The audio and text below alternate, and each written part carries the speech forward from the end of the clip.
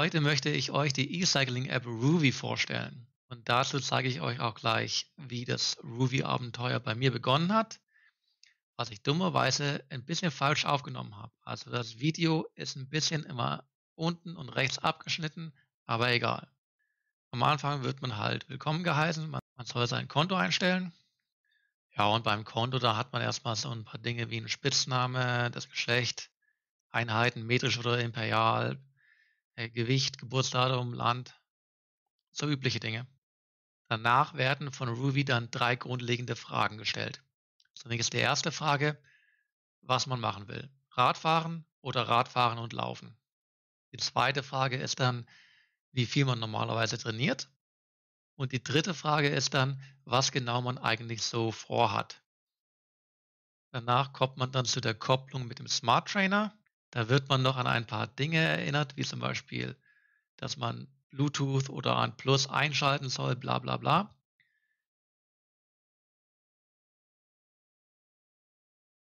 Die Kopplung funktioniert auf jeden Fall technisch einwandfrei, sowohl mit Bluetooth als auch mit ANPlus.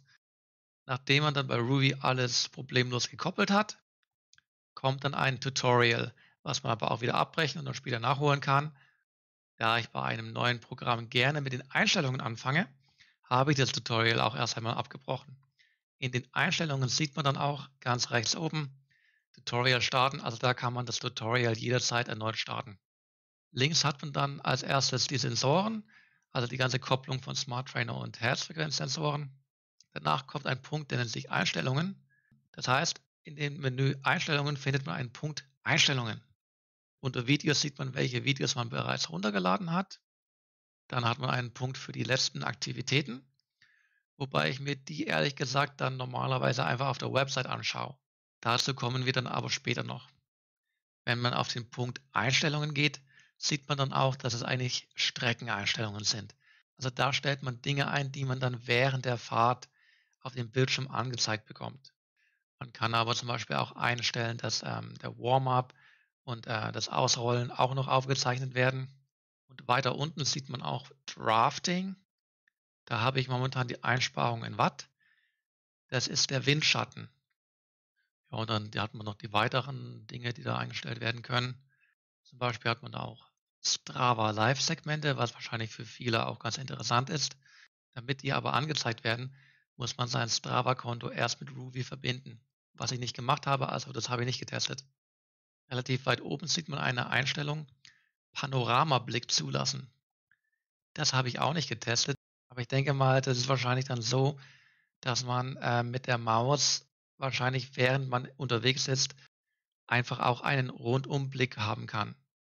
Das ist jetzt insofern interessant, weil Ruby ja eigentlich aus Videos besteht. Denkt man zumindest.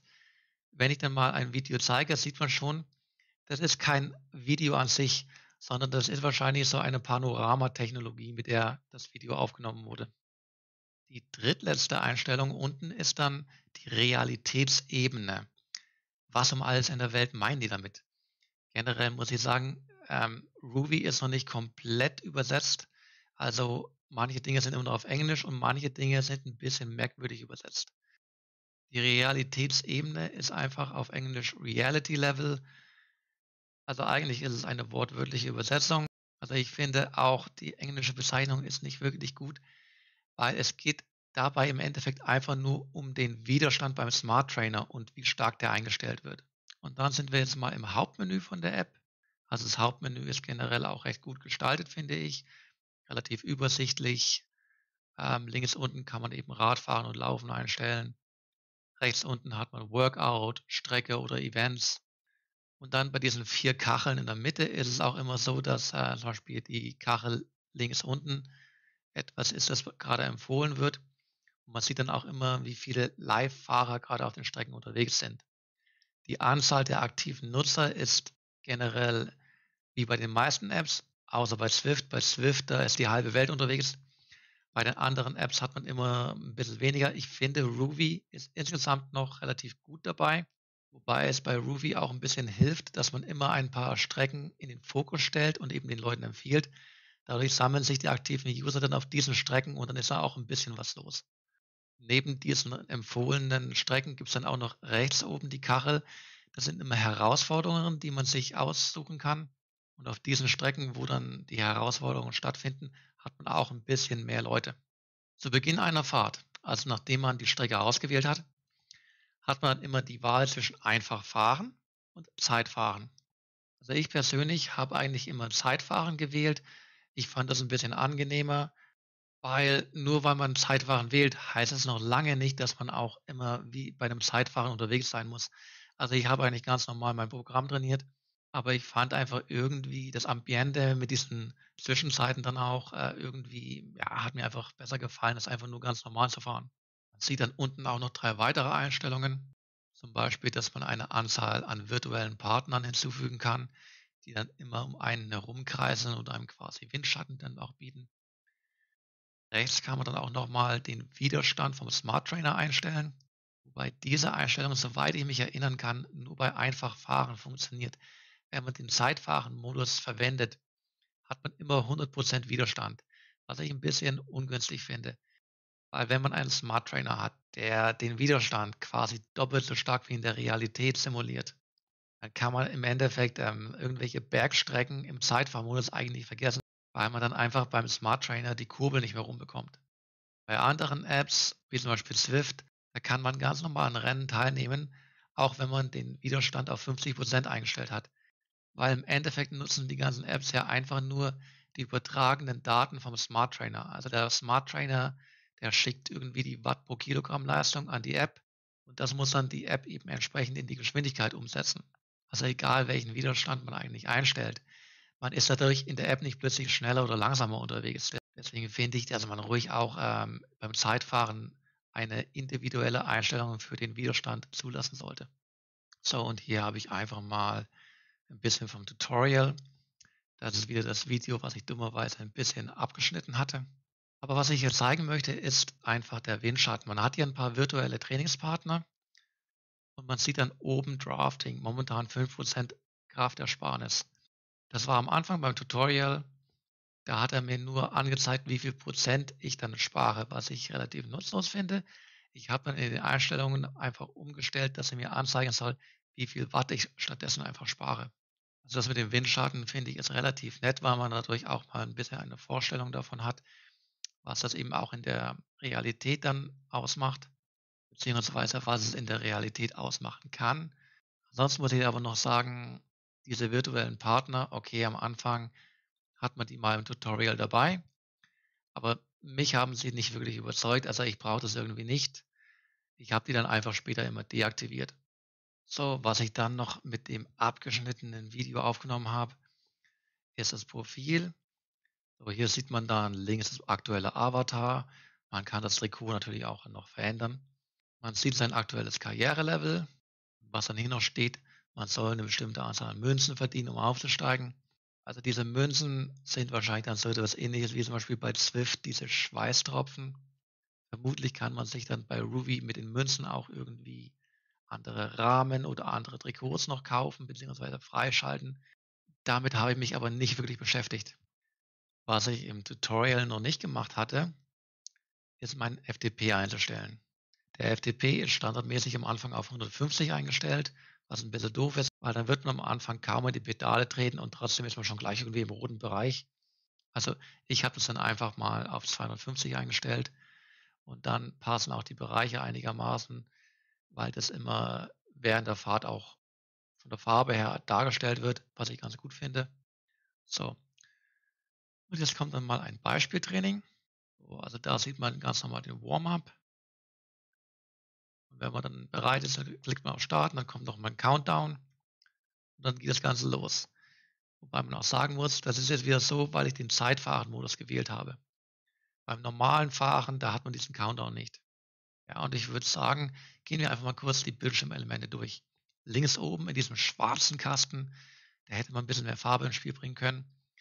Aber das sind erstmal die wichtigen Daten einfach. Watt, Watt pro Kilogramm, hat man seine Herzfrequenz, man hat die Trittfrequenz und die Geschwindigkeit. Die Geschwindigkeit ist eigentlich völlig egal.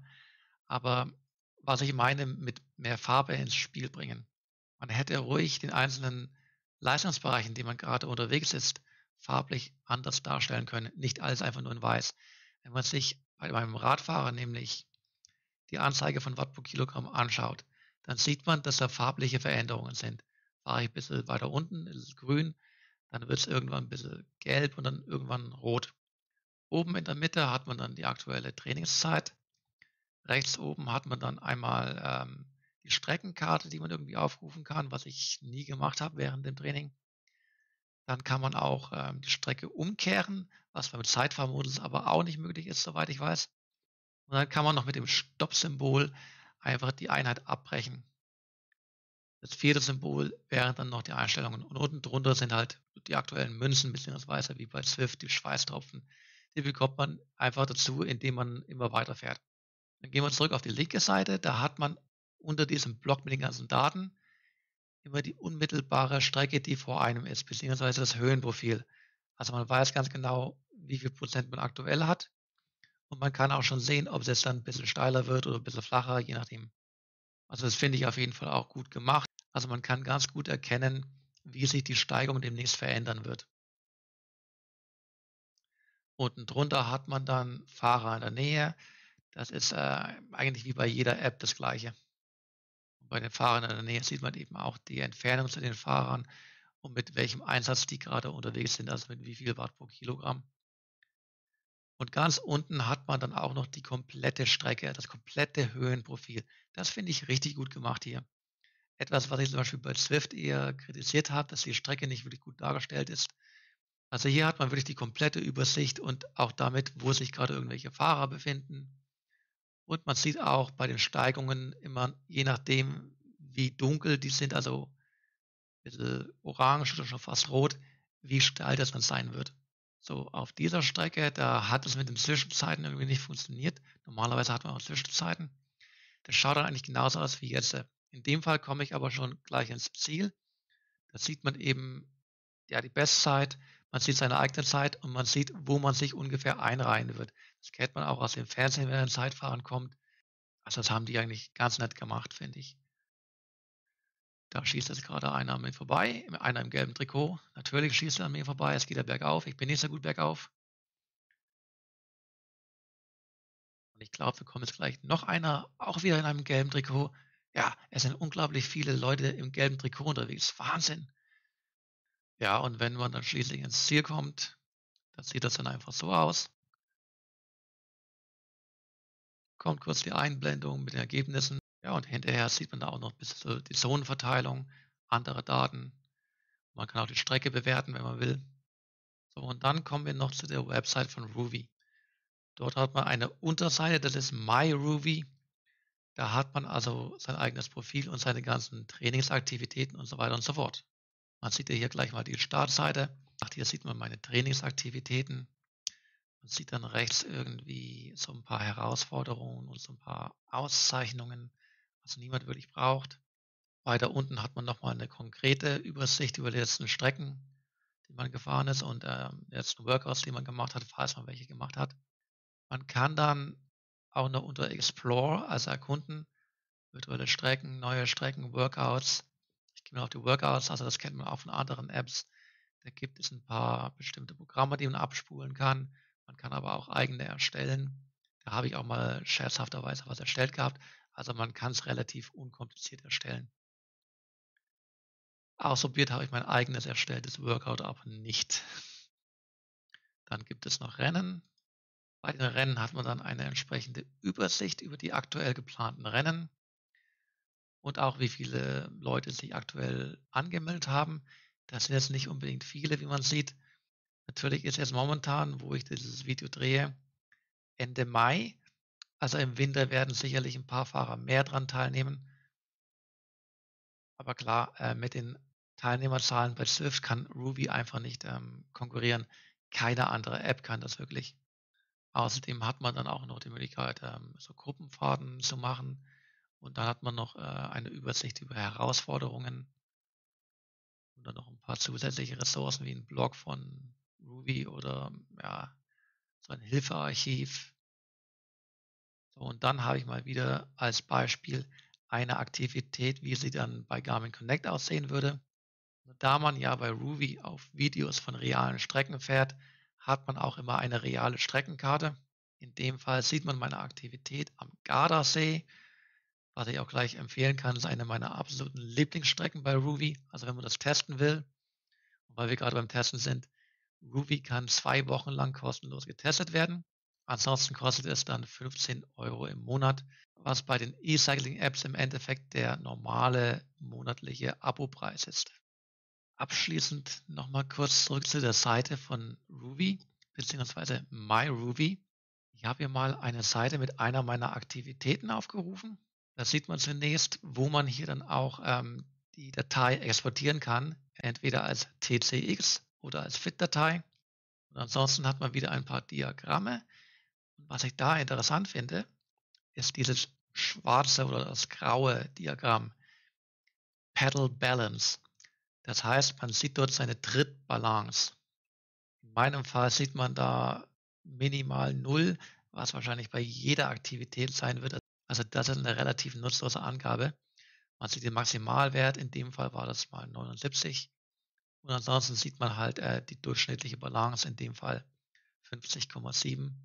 Was man jetzt aber nicht unbedingt sieht, ist, ob das links oder rechts ist. Also generell ist es durchaus ganz nett, und es ist ja auch ein Alleinstellungsmerkmal, weil bei keiner anderen App habe ich das gefunden. Aber wie nützlich das ist und was es einem über den eigenen Tritt sagen kann, weiß ich nicht. Es ist aber, glaube ich, zumindest schon mal nicht schlecht, wenn der Durchschnittswert ungefähr bei 50 ist.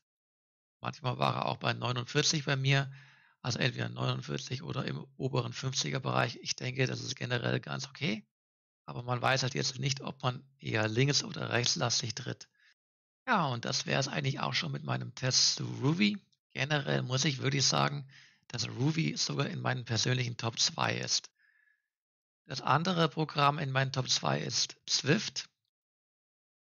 Ich würde jetzt nicht unbedingt einen klaren Favoriten nennen wollen.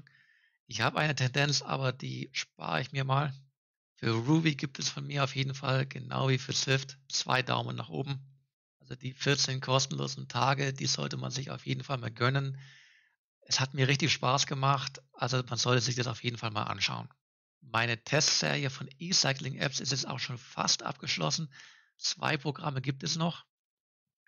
Das eine Programm wird Be Cool sein und das andere wird Virtu Pro sein oder Virtue Pro, wahrscheinlich Virtue Pro. Doch bevor es dann diese beiden Testvideos noch geben wird, werde ich vermutlich erstmal noch ein paar Rennen fahren. Also wird es wieder auch ein paar Vlogs mit ein paar Impressionen zu den Rennen geben. Außerdem wollte ich vielleicht auch mal einen Vlog dazu machen, dass ich mich momentan auf die deutsche Meisterschaft vorbereite. Höhe, deutsche Meisterschaft. Es ist nur die deutsche Seniorenmeisterschaft. Also um das mal klar zu sagen, das ist jetzt nichts, wo man sich erstmal irgendwie qualifizieren muss. Man meldet sich einfach dafür an. Mann, wenn das Wetter doch momentan bei uns nur so gut wäre wie in dem Video hier strahlend blauer Himmel.